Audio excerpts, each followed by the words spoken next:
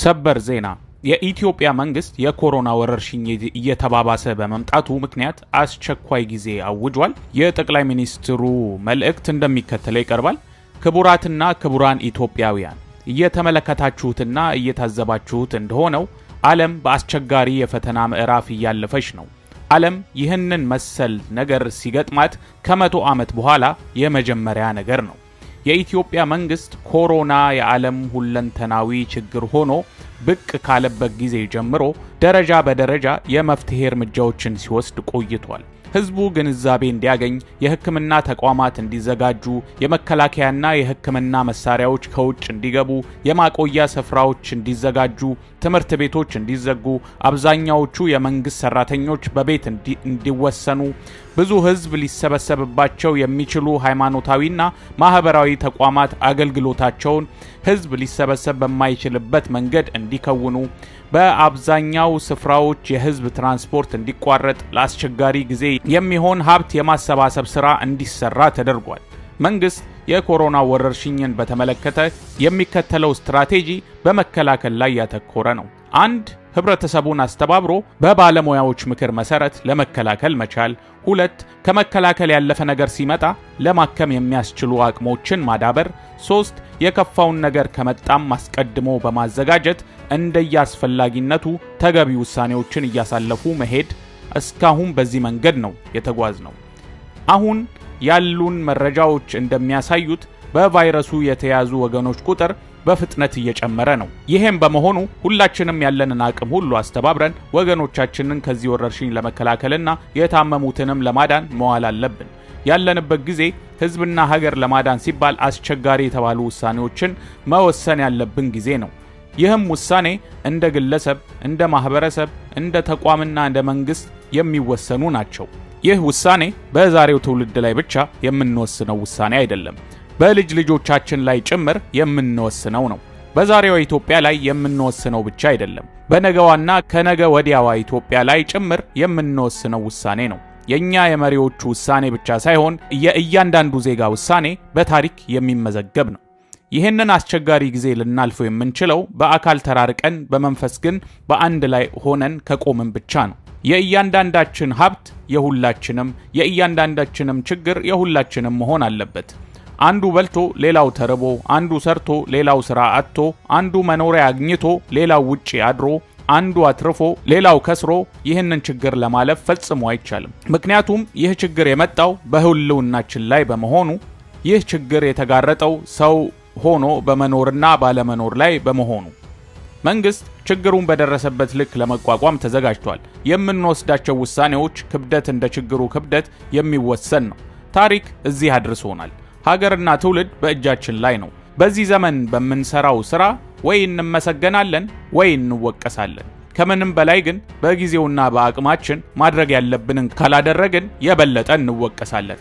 ይህ ደግሞ ሁላችንንም ኢትዮጵያውያንን የሚመለከት ነው። ከተረፍን አብረን ነው፣ ከከሰርንም አብረን ነው። የኢትዮጵያ መንግስት የኮሮና ወረርሽኝ እየተባባሰ በመምጣቱ ምክንያት አስቸኳይ ጊዜ አውጇል። ይህም በህገ መንግስቱ አንቀጽ 93 መሰረት የተፈጸመ ነው። ይህንን መሳዩ አዋጅ ብዙ ሀገሮች ካወጁ ሰንብተዋል። እኛ እስክንዘጋጅና ሁኔታው የግድ እስኪለን ጠብቀናል። ጊዜው ሲጠይቅ ግን አውጀናል። ሀገርን ለማዳንና ትውልድን ለመታደግ ከዚህ በላይ ልንወስን እንደምንችል መታወቅ አለበት። ዜጎችንም ከዚህ በላይ ግዴታቸውን ለመወጣት ወገባቸውን አጥብቀው መጠበቅ አለባቸው።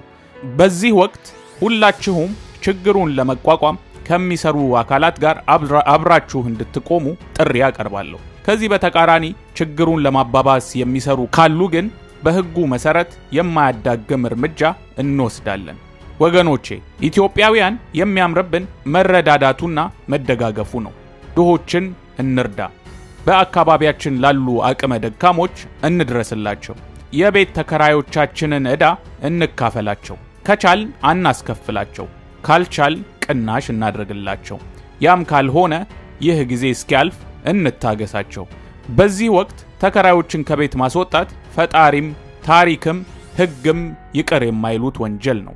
ማናችን አልፈን ማናችን እንደምንተርፍ ለማናውቅበት ጊዜ ከመተባበር የተሻለ መሻገሪያ የለንም። የግል ባለሀብቶች የሰራተኞቻቸው ሕይወት እንዲያስጨንቃቸው አደራ ላለሁ።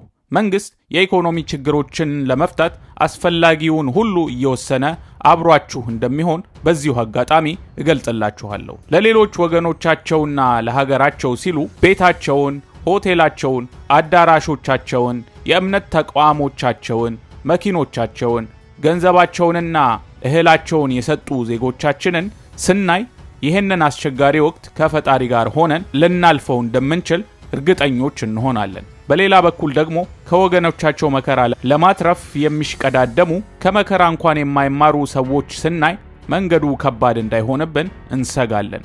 በጎ አድራጊዎችን የምናመሰግነውን ያህል መንገዳችንን ይበልጥ ፈታኝ የሚያደርጉብንን ስግብግቦችንን ግን ለሕዝብና ለሀገር ስንል አስተማሪ የሆነ ቅጣት ለመቅጣት እንገደዳለን።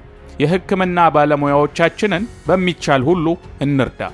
ያለ እነርሱ ግንባር ቀደምነት ትግሉን ልናሸንፍ አንችልም። የሕክምና ባለሙያዎችን ማክበር፣ ማመስገንና በጉዟቸው ሁሉ መተባበር ከእያንዳንዳችን ይጠበቃል። ለሕክምና ባለሙያዎች ተገቢውን ሁሉ አለማድረግ እጅን በእጅ እንደ መቁረጥ ነው። ከእነርሱ በተጨማሪ የመከላከያ አባላት፣ የፖሊስ ሰራዊት አባላት፣ የኤሌክትሪክ ኃይል፣ የውሃ አቅርቦት እንዳይስተጓጎል የሚሰሩ ባለሙያዎች የሚዲያ ባለሙያዎች፣ የመገናኛ መስመሮች ላይ 24 ሰዓት የሚያገለግሉ ዜጎች፣ እኛ ቤት እንድንውል እነርሱ ውጭ የሚውሉ ሰራተኞች ተገቢው ምስጋናና ድጋፍ ከቤተሰባቸው ከማህበረሰባቸውም ያስፈልጋቸዋል። በዚህ አጋጣሚ አርሶ አደሮችን የበልግ ወቅት እንዳያልፍብን ራሳቸውን ከቫይረሱ እየተጠነቀቁ በምርት ሥራ ላይ ጠንክረው እንዲሳተፉ አደራ እላቸዋለሁ። ከቫይረሱ ባልተናነሰ የእርሻ ምርት መቀነስና የእርሻ ምርት አለመኖር የሀገራችንን ሕዝብ ይጎዳል። እናንተ ሀገር መጋቢዎች ስለሆናችሁ እየተጠነቀቃችሁ ካለፈው የተሻለ ምርት ለማምረት ትጉ። መንግስትም አስፈላጊውን ሁሉ ሞያዊና ድጋፍ ያደርግላችኋል። የኢንዱስትሪ ምርቶቻችንም ፈጽሞ መቆም የለባቸው። ለሰራተኞቻችን ሕይወት እየተጠነቀቅን በወረርሽኙ ምክንያት የሚያጋጥመንን ተግዳሮት ሁሉ እየተቋቋምን በፋብሪካ ምርቶች ላይ የተሻለንን ሁሉ ጥረት እናደርጋለን። በተለይም ከውጭ የምናወጣቸው ምርቶች ለመተካት ለሚደረጉ ጥረት መንግስት አስፈላጊውን ድጋፍ ሁሉ እንደሚያደርግላችሁ እገልጥላችኋለሁ። በተለይ ግን በምርት ዝውውር ጊዜ ከፍተኛ የሆነውን የመጨረሻ ጥንቃቄ እንዲደረግ ለአፍታም ቢሆን እንዳትዘናጉ ይሁን። ይህ ጊዜ ያልፋል። ሀገራችን ከዚህ የሚስተካከሉና ከዚህም የሚብሱ ፈተናዎችን አልፋለች።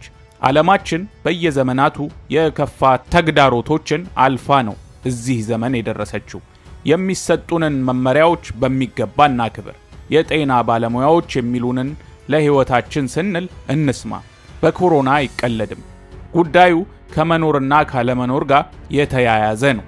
ይህንን ፈተና ለማለፍ ባለ ሶስት ማዕዘን ትብብር ያስፈልገናል። ወደ ጎን እኛ እርስ በርሳችን፣ እያንዳንዳችን ደግሞ ከፈጣሪያችን ጋር፣ እኔ ከሌላ ወገኔ ጋር፣ ሌላ ወገኔ ከእኔ ጋር፣ እኔና ሌላ ወገኔ ከፈጣሪ ጋር የምንገናኝበት መስመር መቼም መቋረጥ የለበትም።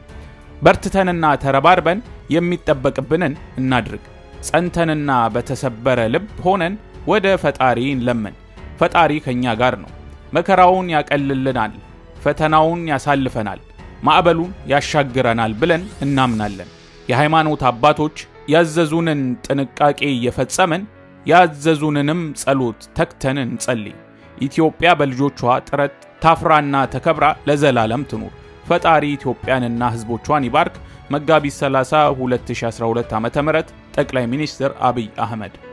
ኢትዮ ኢንፎ ሚዲያ የተለያዩ ማህበራዊ፣ ፖለቲካዊና ወቅታዊ ጉዳዮችን እያዘጋጀ ወደ እናንተ ያደርሳል። subscribe፣ comment፣ share በማድረግ ቤተሰቡን እናመሰግናለን።